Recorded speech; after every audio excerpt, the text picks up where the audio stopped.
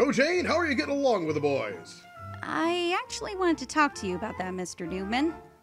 Phil's a paranoid wreck, Chet's an egomaniac, and Joe's a lazy smart aleck. How does anything ever get done around here? Jane, Jane, nobody's perfect. A good team needs a few quirks to keep things interesting. Now, if you'll excuse me, I've got to fax this bag lunch to my kid at school. Hmm.